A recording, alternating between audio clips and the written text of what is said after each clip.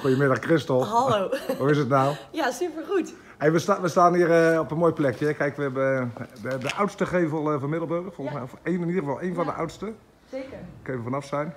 Maar eh, ja, daar heb jij niks mee te, niks mee te maken. En Nee, ik ben hier eigenlijk voor twee dingen. Eh, Ja. Kijk, aan de, aan de ene kant hebben we gewoon Christel, hè, die, eh, die altijd in Amsterdam zat. Eh, uit. Middelburg komt maar een hele tijd naar Amsterdam. klopt. Maar jij gaat hier eh, samenwonen. Klopt. En eh, dat is pas in februari, maar jullie zijn bezig. Ja, En dat vind ik natuurlijk ook eh, ontzettend leuk. In het, eh, ja, ik noem het altijd de oude Hofplein. Maar vroeger Ja. was het ook een soos. ja, Maar het is ook een oude bibliotheek. Het is een heel bijzonder gebouwtje eigenlijk. ja, zeker. En jullie gaan hier wonen. Maar, maar vertel eerst eens even, eh, we we lopen zo meteen even naar binnen als dat mag. Ja. Maar vertel eens even wie je bent en waarom je bent weg geweest en waarom je nu weer terug bent. Ehm, nou, Christel, ehm, ik ben hier op mijn 21ste weggegaan om te studeren. Eh, daarna ben ik gaan werken in Amsterdam en ehm, ja, eh, gaan trouwen, eh, kreeg kinderen, alles. En dat ging voorbij. Teruggekeerd naar Zeeland, relatie met Matteo en ja, nu gaan we hier eh samenwonen. Maar goed, dat kan nog niet. Ehm, maar ehm, ja, teruggekomen, niet helemaal voor Matteo, maar gewoon ook eigenlijk wel omdat ik weer terug terug naar je roots, ja. Maar waar, een tijdje terug kwam ik je tegen in de stad. En Ja. toen zaten we een beetje te bomen. En dat ging vooral over werk in Zeeland. Nou, was het toevallig van de week was het bij, eh, bij de NPO was daar een item over. Ja. Terugkeer in de Zeeuwen. Ja, En in relatie tot werkgelegenheid. eh, heb jij al werk gevonden hier? Of?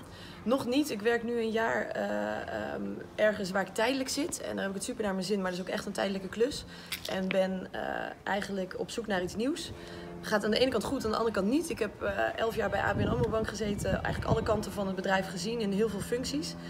Eh, maar merk dat je dan wel in een corporate omgeving zit met corporate dingen. En hier is het, zoals dat ik vaak heb gehoord, meer de MKB-omgeving. Ehm, En dus de dat industrie is- misschien ook een beetje. Ja, en ik vind het wel heel tof, weet je, de, de haven en, en ook het Zeeuwse. Dus ik, ik, ik denk, ik heb er wel heel veel zin in om hier te gaan werken en een beetje alles wat ik geleerd heb in eh, corporate hiertoe te gaan passen. Eh, maar het is wel echt even zoeken. Maar, En- maar heel kort gezegd, eh, als ik eh, grote baas ben en ik wil jou inhuren of ik wil jou in dienst nemen, waar, waar huur ik jou dan voor in?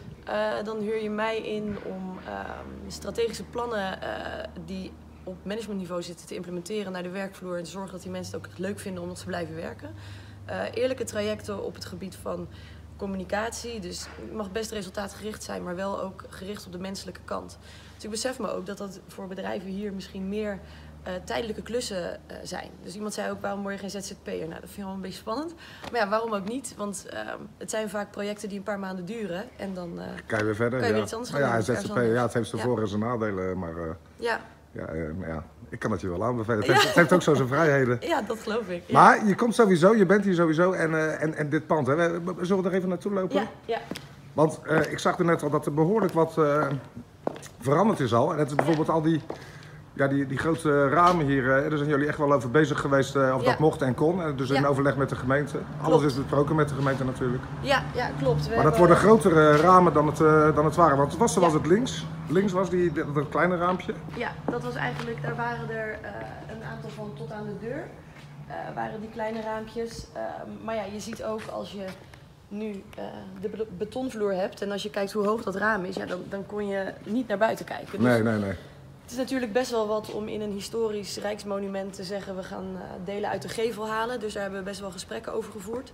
Ehm, ook met de architect erbij. En die heeft uiteindelijk gezegd van nou, op de wijze waarop we het nu willen voorstellen. En dat zijn eigenlijk drie grote openslaande deuren en twee eh, grote ramen. ehm, zijn ze het erover eens. Dus dat is. eh, Ik zie dat er nog wel de ingang zit, maar de, volgens mij komt eh, de hoofdingang van jullie huis komt aan de voorkant, ja, of- Ja. de zijkant, hoe zeg ik dat nou eigenlijk? Want, gek genoeg zitten, waar dat bordje bibliotheek staat, dat, Ja. zit, dat zit hier. Ja, dat zit daarachter.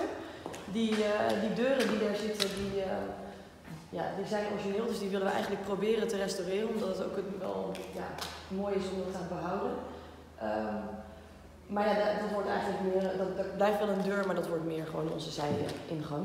Maar ik vind het sowieso al heel buitengewoon, want ik was hier vorig jaar of twee jaar terug nog, en daar waren ze hier aan het repeteren voor een eh, voorstelling.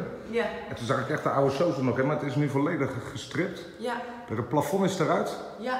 Daar zie ik een soort, zijn dat oude panelen of? Ja, dat zijn eh, oude panelen, daar hebben ze vanuit... En dan opeens heel kleurrijk. Die zijn nog uit de tijd van, eh, van de soos, denk ik. Ja, daar, hierboven heeft een etage gezeten. Daar heeft Matteo ook eh, eh, een jaar gewoond. En daarboven werden vanuit de kerk werden er eh, kinderactiviteiten gedaan. Dus ik denk dat die kleuren daarbij uitgekozen zijn. Ja, want de vorige eigenaar was zeker de kerk ook, of Ja. niet? Want die, Ja. die zijn eh, behoorlijk wat vastgoed aan het afstoten, links en rechts. Ook de kerk Ja. hiernaast is op de markt. Ja. Sinds kort? Ja, Dus dat is een verandering. Dus ja, nu wordt het gewoon een mooi woonhuis. En ik Ja. zie hier ook wat, hier een kelder. Jullie zijn behoorlijk bezig geweest met het eh, graven van een kelder. Of het terug. ja, Ja, dat zie ik natuurlijk niet zo goed. In het hele pand een beetje gekeken hoe de fundatie was. Ehm, en omdat dit het laatste stuk vloer was wat eruit ging, ehm, is pas later hier eh, een kelder ontdekt. En het mooie is dat eh, Matteo eh, ook in historische afbeeldingen heeft gezocht. En als je teruggaat, heel lang geleden heeft de grootste kerk van Middelburg hierachter gestaan. En was deze straat niet zo, maar stonden de huizen eigenlijk anders. Dus we hebben eigenlijk dit gedeelte van het huis, eh, is, een, is een kelder van een, ja, een historisch oud huis geweest. Die hebben we uitgegraven. Omdat ze vroeger gewoon de kelders met puin volgooiden. eh, wat- En dan weer, ja, ja, ja. Ja, en dan gewoon we gooiden wat op en we hebben een nieuwe fundatie. Ik heb inderdaad als tekeningen gezien. Die, die kerk stond inderdaad op, eigenlijk op de hoek met de Noordstraat. Ja, Het was inderdaad een enorm ding. Was het de Sint-Pieterkerk? Of dan weet ik even niet meer uit mijn hoofd. op. Ja, dat kan niet eens. Het zou wel een leuk, eh, leuk beeld opleveren. Ja, Maar en, en wanneer eh, hopen jullie klaar te zijn met, eh, met, met, het, met dit pand? Met we, hopen, we hopen februari. Het is behoorlijk wat werk geweest om tot hier te komen, om het helemaal te strippen. Ehm, over een paar weken dan eh, komt de lichtstraat terug. Nu zie je nog een soort vliering erin zitten. Maar ehm, historisch heeft hier ook een lichtstraat ingezeten. Dus die brengen we helemaal terug. En wat bedoel je dan met de lichtstraat? Als, want dat denk ik aan TL-balk op een rij, maar dat bedoel je vast Nee, niet. nee, dat is eigenlijk eh, in de nok, niet tot de nok, maar net iets eronder. Aan twee kanten van het dak komen dan Velux-ramen. Althans, ja, Ah, kiepramen.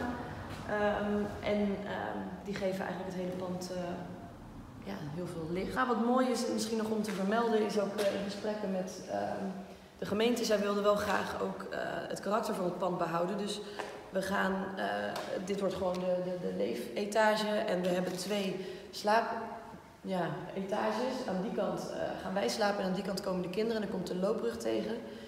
En ehm, vanuit de gemeente zeiden ze, ja, we willen niet dat je de wanden tot de zijkant helemaal doortrekt, maar dat je ze een beetje eraf houdt. Dat betekent dat als je straks langs het pand kijkt, dat je eigenlijk van voor naar achter het zicht hebt. Ja, ja, ja. Wat ja. wel heel mooi is, omdat je dan ja, het pand op die manier nog ehm, in beeld kan houden. In plaats als het huis klaar is, dan, eh, dan ga ik hier ook naartoe. Alleen, ja, we hebben, ik heb twee zoontjes. Theo heeft een dochter. Wij willen dat niet gelijk stressvol zo. eh, Maar ik, ik mag misschien wel op het moment dat, dat alles samenkomt, eh, dan kom ik heel graag kijken natuurlijk hoe het is geworden. Dan ben ik dan eh, welkom, ja? Ja, tuurlijk. Nee, hartstikke Ja. leuk. Kijk, En, en, dit is echt eh, nog niet af. en, en, en mensen die jou eventueel eh, die belangstelling hebben om eh, samen te werken met jou, die kunnen jou gewoon vinden op LinkedIn en zo, eh, neem ik Oh aan. ja, hè? zeker. Christel Barto, hè? Barto. Barto. ja, Barto. Ja, zeker. Oké, nou dankjewel voor je toelichting en eh, nou ja, veel succes met eh, het komende ha- ja, half jaar Half ongeveer. hè? jaar nog, ja. Ja, En tot dankjewel. over een tijdje. Oké, hoi. Doei.